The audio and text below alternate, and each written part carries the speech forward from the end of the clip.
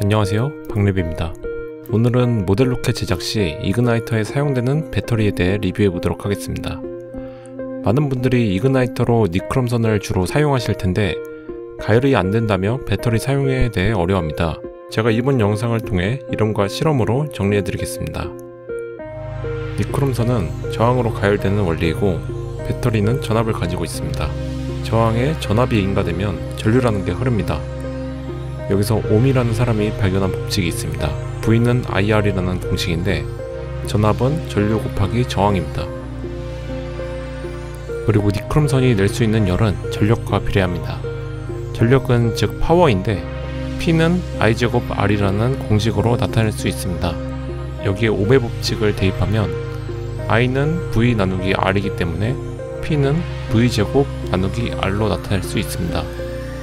정해진 니크롬 선으로는 저항이 결정되기 때문에 전압을 높이면 당연히 발열량은 커지게 됩니다. 하지만 배터리의 전압이 크다 하더라도 안 되시는 분들이 종종 있습니다. 배터리 전압을 충분히 크게 했는데 왜 발열이 안 될까요? 1. 많이 쓴 배터리로 부하가 걸린 순간 전압 강화가 일어나 충분한 에너지를 내지 못하는 경우 2. 애초에 용량이 작은 배터리가 부하로 인해 용량이 바닥을 치는 경우 3. 즉 병렬 연결 혹은 니크롬선까지 연결 시 사용한 전선이 너무 얇아 니크롬선보다 저항이 클 경우 보통 3번의 경우가 제일 많고 그 다음 1, 2번 순으로 문제가 많이 발생합니다. 어쨌든 이제 전력을 구하기 위해 니크롬선의 저항을 구해보도록 하겠습니다. 저항과 비저항의 관계 비저항은 재료마다 주어진 고유의 저항값입니다. 이 공식에서 L은 선의 길이, A는 선의 단면적입니다. 그럼 니크롬선 길이 20mm, 질은 0.3mm를 사용했을 때입니다. 니크롬선의 비저항은 1.06 곱하기 10의 마이너스 6승이고 이 지름을 통해 구한 단면적은 0.236입니다. 공식에 대입해보면 니크롬선의 저항은 0.935이 됩니다. 그럼 6V를 인가하면 38.7W가 나옵니다. 이걸 간단하게 계산할 수 있게 엑셀 시트로 만들어 봤습니다. 니크롬선의 길이, 두께와 사용하는 전압을 입력하면 파워가 계산됩니다. 하지만 여기서 배터리의 스펙에 따라 6V를 만들었다 해도 보통 배터리의 스펙은 OCV, 오픈 서킷 볼티지를 말하는 겁니다. 아무 부하가 걸리지 않았을 때의 상태인 개회로 상태입니다. 부하가 걸리기 시작하면 배터리 내부 저항에 의해 전압 강화가 일어납니다. 이 상태의 전압을 CCV라고 합니다. 그래서 6V짜리 전압을 인가해도 3V까지 떨어지기도 하면서 원하는 출력이 안 나올 수 있습니다. 실험을 통해서 각 배터리의 종류, 사용 전압에 따라 파워가 어떻게 나오는지 보여드리려고 합니다. 우선 실험은 전류와 전압을 측정할 수 있게 전류 센서를 이용했습니다. 저는 저번에 벤치마킹 목적으로 구매한 이 이스테스 전화기를 참 좋아합니다. 한쪽 선을 전류 센서에 통과시키고 니크롬선에 연결시킵니다. 그리고 준비가 되면 전원을 연결시켜줍니다. 알카라인 1.5V 먼저 알카라인 1.5V입니다. 우측에는 전압, 전류, 전력이 나와 있습니다. 아래의 그래프는 전력 시간 그래프입니다. 아까 말씀드렸듯 전력과 발열량은 비례하기 때문에 전력이 올라가는 것을 잘 봐주세요. 보셨듯이 스위치를 누를 때 전압이 1.8V에서 1.1V까지 강압되는 게 보이시죠? 이게 아까 말씀드렸듯 폐회로가 되면서 전압이 강화되는 CCV입니다. 실패. 알카라인 3V.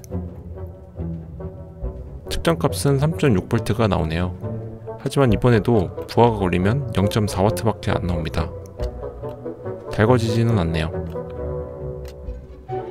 만지면 따끈한 정도입니다. 실패. 알카라인 6V. 알카라인 케이스가 더 이상 없어 이스테스 점화기 케이스를 이용하겠습니다.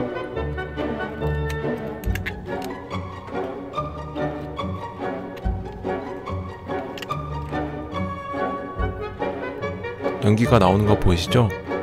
실측은 7.2V가 나옵니다. 11.6W까지 나오면서 붉게 가열됩니다. 통과 알카라인 사각형 9V 이번에는 사각형 알카라인 9V 배터리를 사용해 보겠습니다. 자, 9V 가보겠습니다. 엥? 6V도 되는데 9V는 안 되고 있습니다. 실패. 용량이 작아서 그런 걸까요? 최대 7W밖에 안 나옵니다. 그럼 전압은 충분한 것 같으니 아까 말씀드린 대로 두 번째 문제로 의심이 됩니다. 2.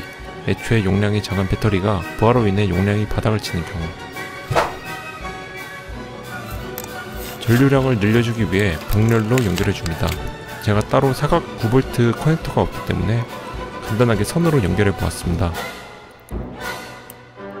자, 9V 병렬 연결. 그래도 10W가 안 나옵니다. 뭐가 문제일까요? 전류가 약한데요. 그럼 2번 문제는 아닌 것 같고 3번 문제로 의심해 보겠습니다. 제가 선을 너무 얇고 길게 써서 부하가 많이 걸린 것 같습니다. 실패. 최대한 짧고 굵게 직결하여 연결해 보겠습니다. 자 보셨듯이 배터리 하나로도 10W가 나오면서 발열이 됩니다. 통과. 배터리 두 개로도 잘 발열이 되네요. 근데 이 사각 9V는 피하시는 게 좋겠습니다. 보통 9V로 사용하면 이런 홀더를 사용하시는데 생각보다 선의 굵기가 얇아서 3번 같은 문제가 발생할 수 있습니다. 자 다음 리튬이온 1셀 3.7V 다음은 원통형 리튬이온 1셀입니다. 최대 4.3V 정도까지도 올라가고 합니다. 근데 1셀로는 부족한지 발열이 되지 않았습니다. 실패 다음은 원통형 리튬이온 2셀로 해보겠습니다. 리튬이온 2셀 7.4V 전압이 확실히 높아지면서 20W까지 올라갑니다. 통과 리튬 폴리머 배터리 2셀 7.4V 사실 뭐 안 해봐도 결과는 가능할 것 같지만 리튬 폴리머 배터리로도 해보도록 하겠습니다. 전압 강하도 적고 거의 30W 수준으로 나오고 발열도 빠릅니다. 통과 니크롬선을 사용하실 때 출력을 높일수록 좋겠지만 니크롬선이 너무 빨리 발열되면 산화되어 끊어질 염려가 있습니다. 가능한 적절한 출력을 찾는 게 좋습니다. 가끔 3만원대의 고가 배터리를 추천하시는 분들도 있지만 이렇게 싼 가격에 알카라인으로도 충분히 가능하다는 것을 증명했습니다. 물론 니크롬선이 길어지거나 두꺼워지면 그만큼 출력량은 높아져야겠죠? 오늘은 이렇게 배터리와 니크롬선의 발열량의 관계를 실험해 보았습니다. 이상 박래비였습니다. 감사합니다.